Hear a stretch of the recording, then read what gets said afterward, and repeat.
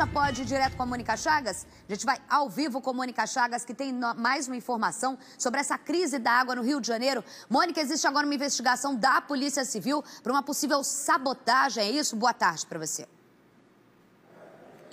Boa tarde, Isabelle. Boa tarde para você. Boa tarde a todos. É, a gente está ao lado da delegada assistente Josi Lima, que faz parte da Delegacia de Assistência é, de Defesa de Serviços Delegados. É, está acontecendo agora uma diligência no, na estação de tratamento da SEDAI, lá em Guandu. É, doutora Josi, agora a polícia quer saber se houve sabotagem ou se foi por causas naturais essa crise da água, né?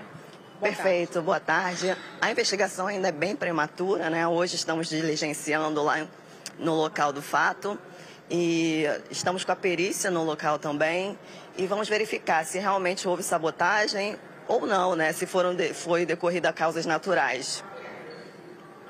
Doutora Josi, boa tarde. Muito obrigada por estar ao vivo. É, causas naturais ou algum erro de é, execução dentro da própria SEDAI também, né?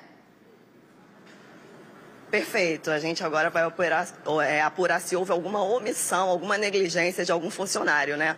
Realizaremos a oitiva dos funcionários e analisaremos as amostras coletadas de água e no decorrer daremos maiores informações complicado, porque a gente tem duas é, versões que podem ter acontecido. No caso de uma sabotagem, a gente sabe de uma intenção de se privatização da estatal. Num caso de uma. Ou também pode ser um funcionário revoltado, todas as hipóteses podem ser levantadas. E no caso de um erro de execução, a gente também poderia ter um lado de alguém querer falar que é sabotagem para livrar a, a, a responsabilidade dentro da própria empresa, né?